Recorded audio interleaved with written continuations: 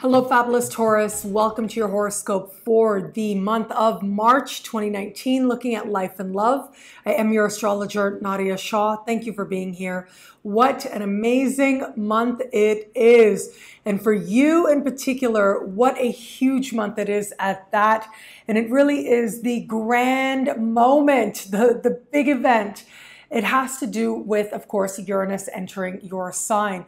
Now, a lot of other things are happening, and this is right around the 6th of the month. And so we have lots of activities, but it really is about the power of this momentous move of Uranus into your sign that you are going to feel most. And there's a couple of ways I see this playing out. Now, of course, there are the larger themes as Uranus moves into this part of the sky right into 2026 and will lend itself to a whole other version of you, a cleansed and a, a, sense of you truly stepping into a more authentic version of yourself in a way that you have likely never known before in your life and in a way that I do believe you will love. So that will be part of an ongoing journey for you. You can watch the Uranus special horoscope on YouTube I talk all about it for the collective and of course for your sign as well. There's preview horoscopes in there. But where it comes to this month, we do have right around the same time Mercury going retro and a powerful new moon.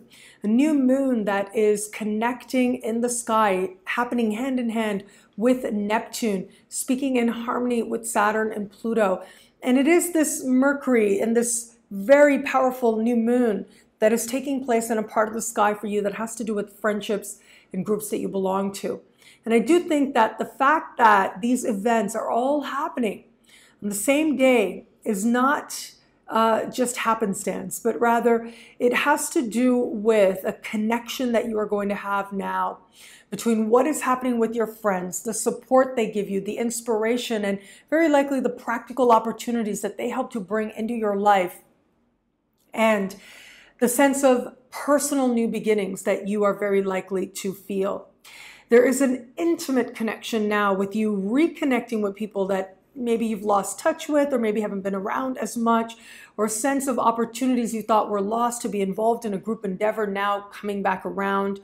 And what that says about your understanding of self, your renewed and rebirthed understanding of who it is that you truly are meant to be in this life.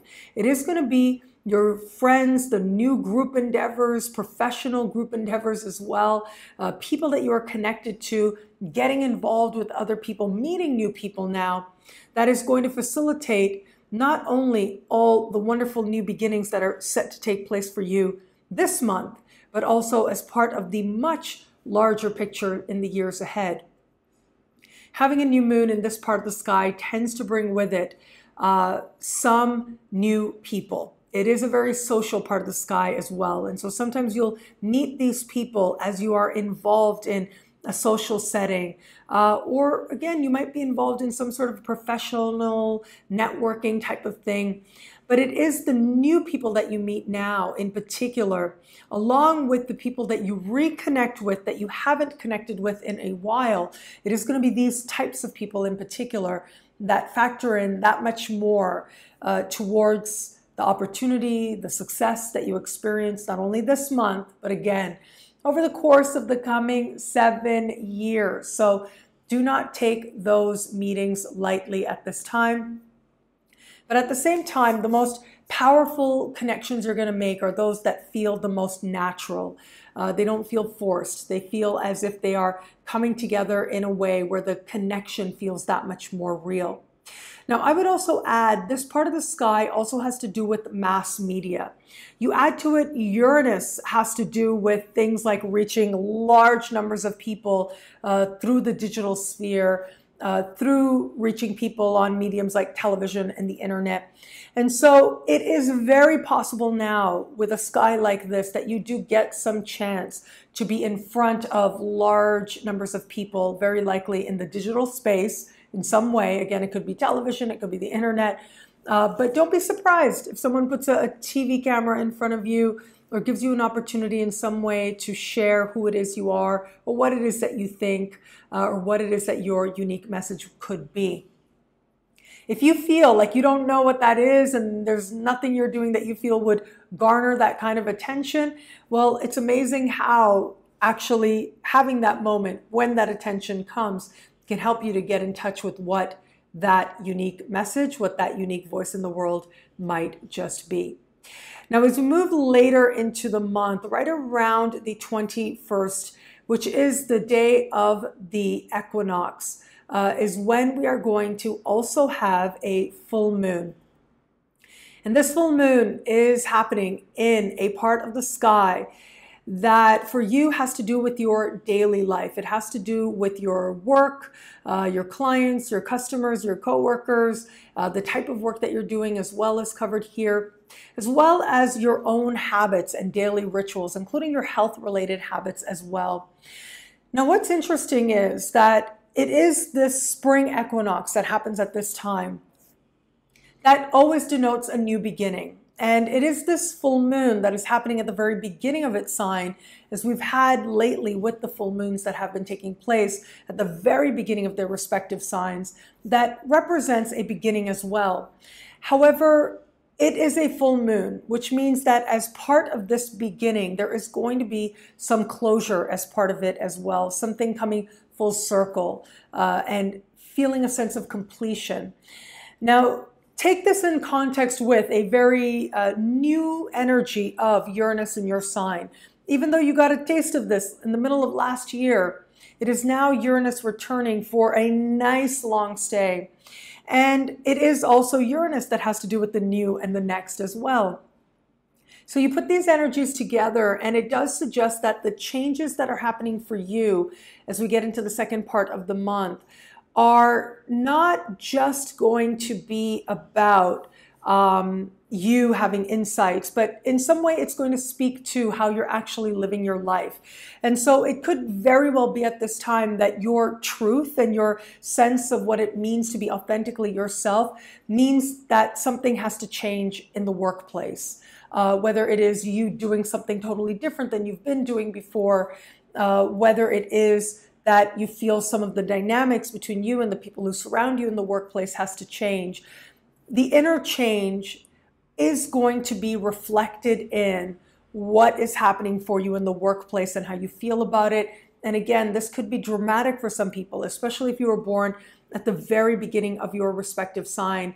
However, all Taurians out there are going to experience this energy. So it is important to pay attention to how you're feeling, but also how it is that you're feeling life in the most mundane, practical ways needs to change for you. Now, as I said, health related habits can change for you at this time. The daily rituals can change as well. And it will very well be connected to some sense of getting in touch with what is true for you and what it means to be authentically yourself and where you feel that there's some habit uh, or some daily uh, thing that you've been doing that does not affirm this new and rising identity that is emerging for you, well, that's where your most powerful changes are set to take place. And so, if you think about it, things like the way that we eat, there is a very long tradition going way, way back to the very earliest evidence of humanity, I would say, uh, where we see people spiritualizing how they eat. Um, and so whether it is, you know, not eating certain things on certain days for spiritual reasons or choosing to eat certain foods because it helps them to align with a certain sacred energy, there is a very long tradition uh, that human beings have had in understanding that in some way how it is that we are nourishing ourselves with food is connected to spiritual energy. And so this is going to give you that opportunity to consider what is it that you believe about yourself? That is a powerful spiritual stance to have. Your self definition is ultimately a spiritual definition. So, how is that now going to change what you understand about those smallest moments? And it doesn't necessarily have to do with food, it can have to do with the way that you think or other little habits that you may have. But how does those or do those habits in some way affirm your sense of truth that is emerging for you now? Well, it can be intricate, but it can also be clear as day when you know what it is that is ready to change. And that clarity may find you now. Where it comes to matters of love, Mars is going to remain in your sign until the very end of the month. And so it was in the middle of last month that Mars entered your sign and now all of this month. And with Mars in your sign, it does give you a little bit more of an edge, if you will, a little bit more drive, more determination, but also a more immediate sense of the things that you are passionate about in every area of your life. But of course, that means passion as well in terms of attraction to other people and the desire to connect with others uh, can show up at this time. So if you are someone who is open to meeting someone new, you will very likely be motivated uh, to connect with others and very likely are going to have some moments that feel uh, where the passion is especially strong. You want to watch this especially right around uh, the full moon that I mentioned, which takes place at the equinox right around the 21st.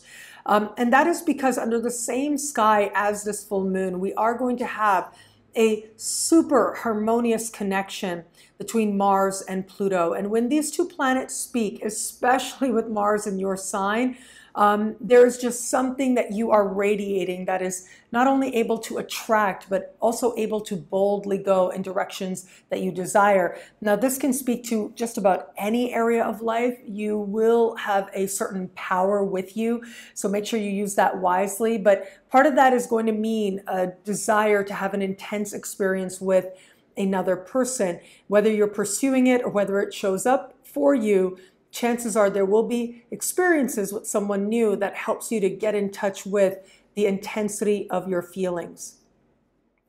For those of you who are getting to know somebody, this can be a very powerful energy as well.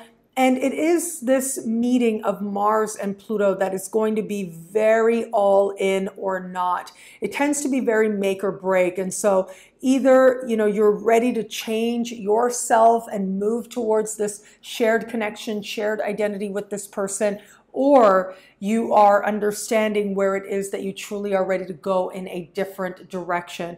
It becomes very clear, but more than that, there tends to be a lot of confidence with you at this time as well, and a lot of bravery as you go about making change. And sometimes that includes evolving beyond a particular situation. For those of you in an established bond, it is important that you be mindful of your own energy because there tends to be a very strong desire to move towards some change in your own life. And if you are not engaging this energy very actively, taking action, uh, towards what it is that you truly are wanting, well, what can happen is you can find yourself growing impatient. And it is easier to take out some of that frustration with the people who are closest to us.